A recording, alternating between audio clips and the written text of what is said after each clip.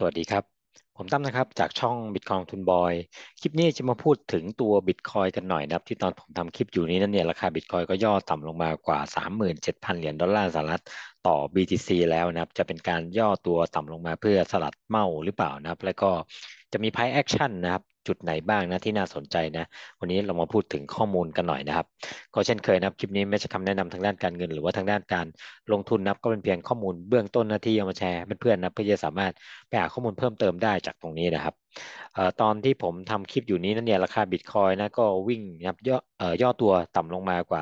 37,000 เหรียญดอลลาร์สหรัฐต่อ BTC แล้วนะครับ ปัจจุบันตอนที่ผมทำคลิปนี้ก็อยู่ที่ประมาณ 36,700 เหรียญดอลลาร์สหรัฐต่อ BTC นะครับสำหรับตัว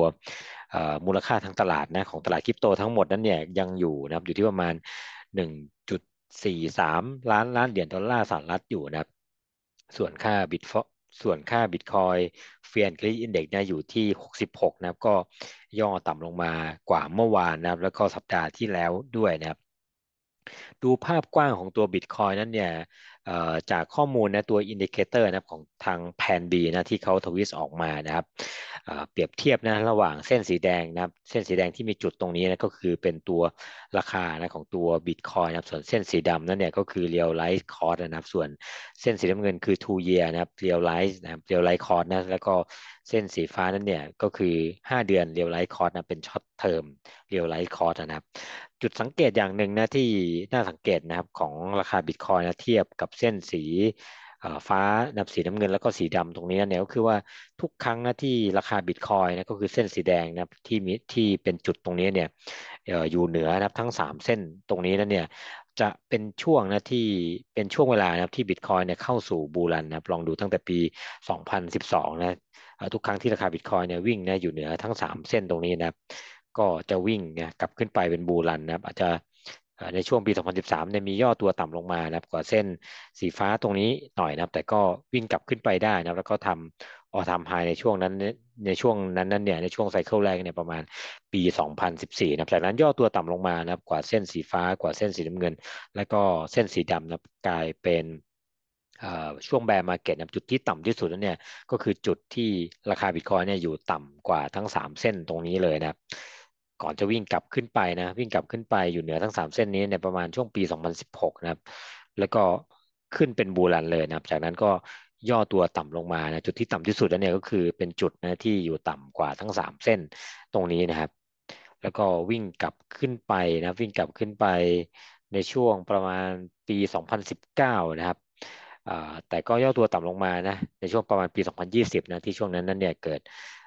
โควิดนะในช่วงแรกนะครับหลังจากนั้นก็วิ่งเหนือทั้งสามทั้งสามเส้นตรงนี้นะแล้วก็กลายเป็นบูรันนะครับ ยาวไปจนถึงปลายปี 2021นะจากนั้นก็ย่อตัวต่ำลงมานะจุดที่ต่ำที่สุดนั่นเองก็คือจุดนะที่อยู่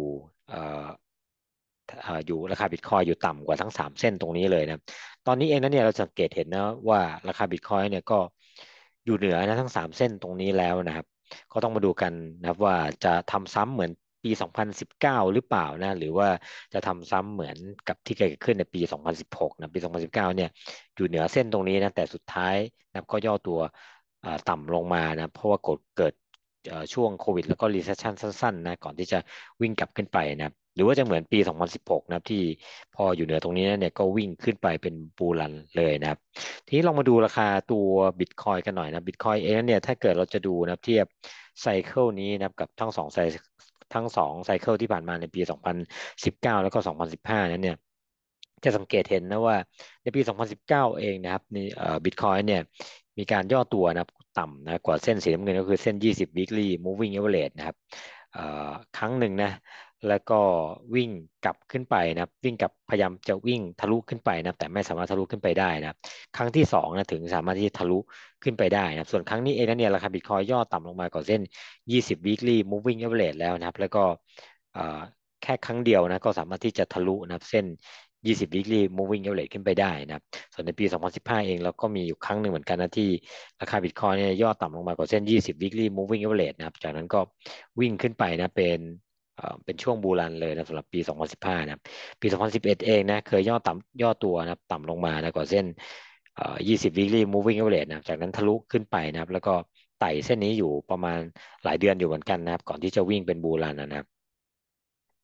ซึ่งตอนนี้เองถ้าเทียบกับไซเคิลนี้เนี่ยเรียกว่าก็ย่อตัวต่ำลงมาแล้วนะกว่าเส้น 20 weekly moving average นะครับแล้วก็สามารถที่ทะลุขึ้นไปได้ด้วยเลยนะครับ ส่วนถ้าเกิดเรามาดูนะครับแนวรับแล้วก็แนวต้านนะเทียบนะครับกับ2ไซเคิลที่ผ่านมานะครั้งนี้เองนั้นเนี่ยเราจะสังเกตเห็นนะว่า หลังจากที่บิตคอยทะลุเส้น 20 weekly moving average นะครับแล้วก็ทะลุนะครับที่แนวต้านตรงนี้ขึ้นไปนั้นเนี่ยก็จะสังเกตเห็นนะว่าบิตคอยเองนั้นเนี่ยก็จะเรียกว่าชนกำแพงตรงนี้แล้วก็เด้งกลับลงมานะครับชนแล้วก็เด้งกลับลงมาครับชนแล้วก็เด้งกลับลงมานะตอนนี้สามารถที่จะทะลุตรงนี้ขึ้นไปได้แล้วนะครับ แล้วก็ตอนนี้เนี่ยยัง เรียกว่าที่ระดับประมาณ 37,000 เหรียญดอลลาร์สหรัฐต่อ BTC เนี่ยเรียกว่าเป็นแนวต้านที่แข็งแกร่งเลยนะต้องดูกันนะว่าจะชนแนวต้านตรงนี้นะครับ แล้วก็จะย่อตัวต่ำลงมานะครับที่แนวต้านอีกที่หนึ่งที่ประมาณ 31,000 เหรียญดอลลาร์สหรัฐต่อ BTC หรือเปล่านะครับ นี่ก็เป็นอีกหนึ่งแนวรับแล้วก็แนวต้านที่น่าสนใจนะครับ ในปี 2019 เนี่ยถ้าเกิดเรา ถ้าเกิดเราจะลองดูนะครับในปีย้อนกลับไปตั้งแต่ช่วงไซเคิลปี 2015 นะครับ คล้ายๆกันเหมือนกันนะในช่วงที่บิตคอยนะครับ สามารถที่ทะลุนะครับ แนวต้านตรงนี้ขึ้นไปได้นะครับ สุดท้ายเนี่ยก็เรียกว่าชนนะครับที่แนวสามารถที่ทะลุแนวต้านตรงนี้เอ่อขึ้นไปได้นะครับ สุดท้ายก็ชนแนวต้านอีกแนวหนึ่งนะกลับมา test นะครับเอ่อที่เส้น 20 weekly moving average นะวิ่งทะลุขึ้นไปนะกลับมา test นะครับแล้วก็วิ่งทะลุขึ้นไปนะครับ กลับมา test เอ่อกลับไป test อีกรอบหนึ่งนะวิ่งทะลุขึ้นไปนะครับจะสังเกตเห็นว่า pattern แบบนี้เนี่ย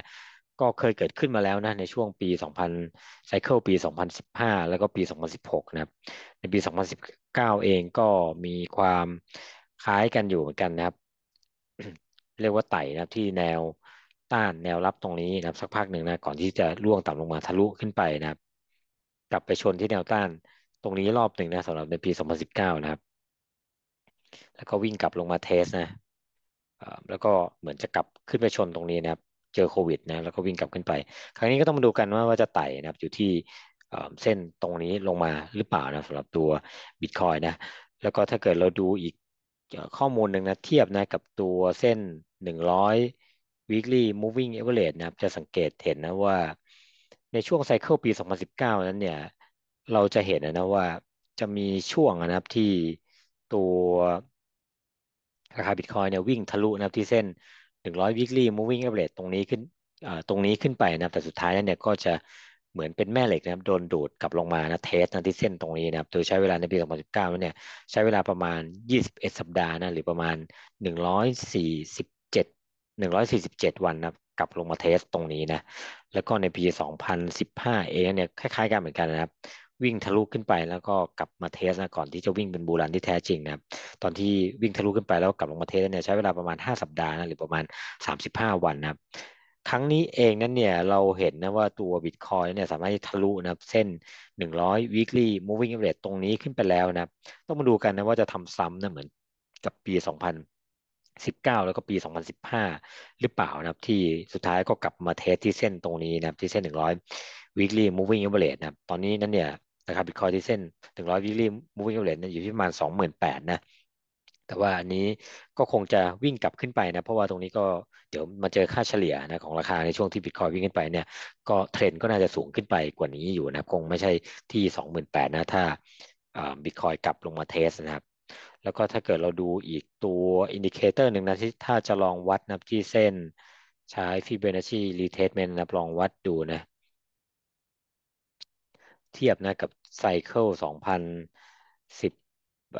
19นะครับกับ cycle ปัจจุบันนี้นะในปี 2019 นั้นเนี่ยสังเกตเห็นนะว่าจุด top นั้นเนี่ยที่แท่งเทียนปิดพอดีเลยนะจริง ๆ จะอยู่ที่ประมาณสัก 50%นะที่เลเวล 50%นะแต่ว่าไส้เทียนนั้นเนี่ยทะลุขึ้นไปที่ประมาณ 61.8%ตรงนี้นะครับ